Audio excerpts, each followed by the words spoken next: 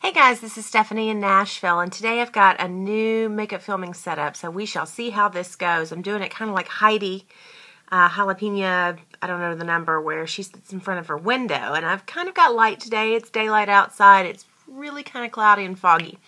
At any rate, the whole um, kind of reason for this video is because I am going to use the Lorac, um, what is it, Liquid Luster 3D and it comes in this really cute packaging. You shake it up if you, you know, all of the glitter will settle to the bottom and then you shake it up and it mixes it back up again. It has an interesting little applicator. It's a little dripper on the end of this. So I've got most of my makeup finished and I the only thing left is to add the glitter, add the mascara, and then maybe touch up any eyeliner that I don't you know, that might get covered up with the process of adding the, uh, the glitter. So let me show you how I've gotten to where I, I have. I have got Neutrogena Healthy Skin in Buff, which I really like. I've got Laura Mercier Pressed Powder in Real Sand. I've got Urban Decay. Look at that tube. Wow, that's sad. Um, my blush today is Neutrogena Healthy Glow. This is one I got on sale. Well, if I can open it. One that I got on sale. I think it's the same colors as the ones um, with the color booster or happy booster, the ones with the little hearts. Anyways, I bought that for 75% off some time ago. On my lips, I have Tarte Lip Surgence in Flashy. It's the first time I've worn this color. It's a little pink for me, but I like it. Um, I have Rimmel Pure White in the waterline. I have some Bonne Bell in Plum Girly on my inner tear duct, which is a really interesting color, and I've had it for, I don't know, seven, eight, ten years. There's no way they make that anymore. And then I've been using the Wet n Wild Baked I have no idea what this is called. I gotta tell you, I bought two of the baked. Uh, I bought this one and the one that's got the golden kind of rusty colors in it, and I don't really like them. I have all of the Wet n Wild color icon. Maybe not all, but I have a whole ton of it. And um, these are really sheer. So if you don't mind layer, layer, layer, and you don't just want huge color payoff, then you might enjoy these, but I'm not a huge fan. At any rate, um, what I did is I used the pink color all over my lid. Like I packed that on all over the bottom.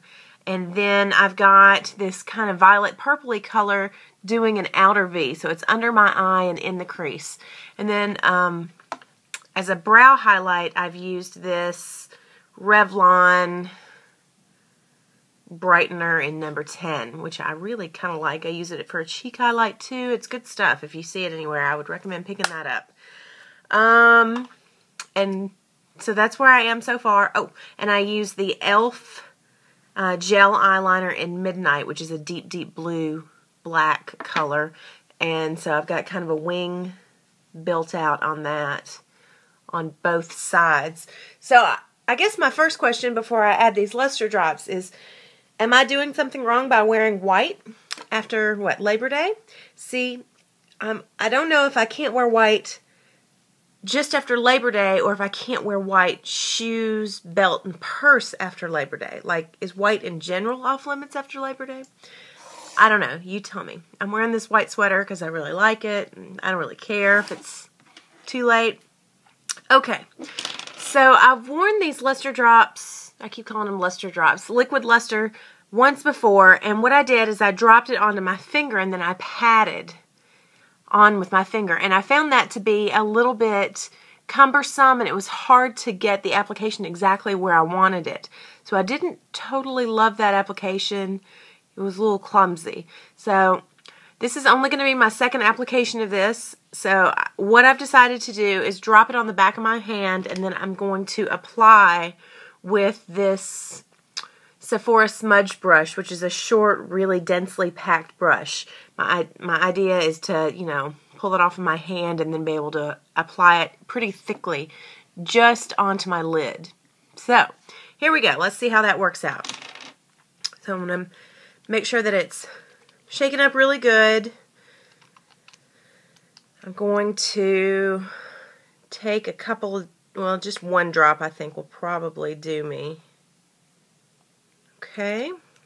So you can see it's really liquidy. That would run, it looks like it's holding, but it would run really easily if I wanted to let it.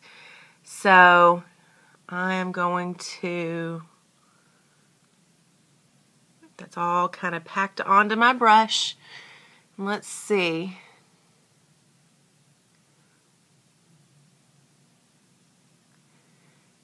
Well, right off the bat, I can tell you this is a better application than using your fingers.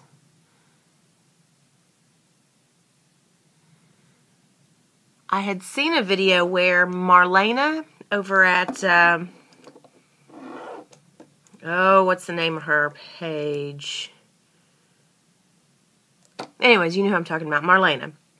Um, she had used this and it looked really great on her and I was able to pick it up on sale. So I thought, well, it's a unique product. It's not something I normally spend the money on for high end product. Normally, I, I reserve my high end space for staples, and then fun stuff goes to drugstores. But, you know, sometimes you got to splurge. Whoops, that drop was way bigger than the previous one.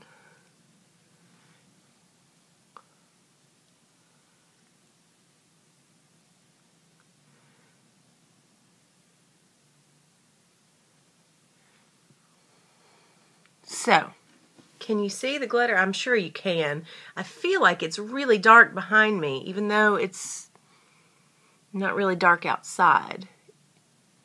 Sort of the lighting of my house.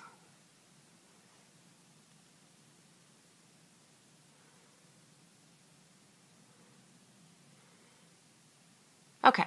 Oopsie. So that's the application that I was going for.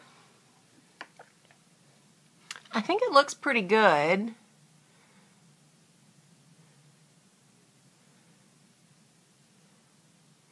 I think I'm going to take what's left on the brush and just go under my eye a little bit. So I have some sparkles down there. I probably have some on my hand still too.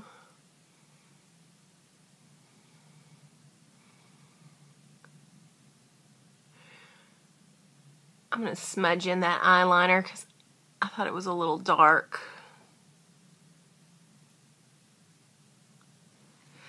Okay. So what do you think? Do you like that look? Is it too over the top? Am I too old to wear it? Does it not go with a white shirt? Your opinion is valuable. Okay, so I've got um, my liquid gel liner in Midnight from e.l.f. I have these in all of the e.l.f. colors, I think five or six of them. And I don't love them, but for $3, I like them.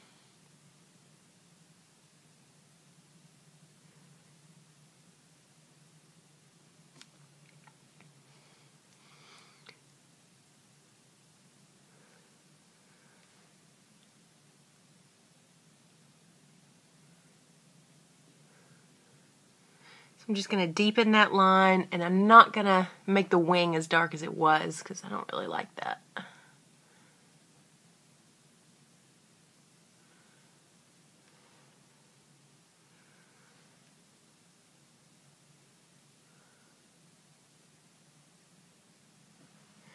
the hardest time with the gel eyeliner right here on my left side.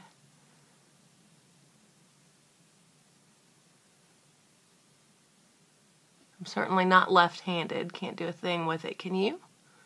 Go left-handed? That would be weird if you could.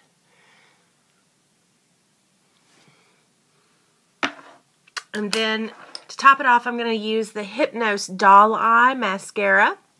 This is only my second or third day of using this. It's an interesting brush. I am a huge, huge fan of the Hypnose, just the regular Hypnose, not the Drama. I think that's too clumpy but just the regular old Lancome Hypnose. I think it's awesome. Um, I've been seeing a lot of people use this mascara lately. Lisa Eldridge and um, I think the Pixiwoo girls have used it. So I decided that I would pick that up. And I like it, but I'm not sure I love it.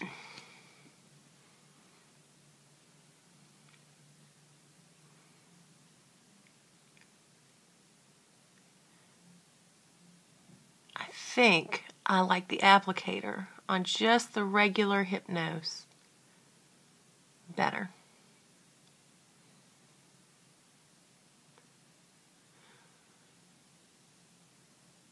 Okay. So,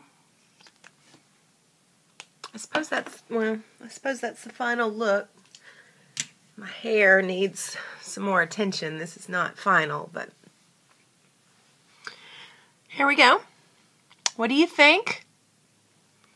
Is the glitter too much? Am I too old for it?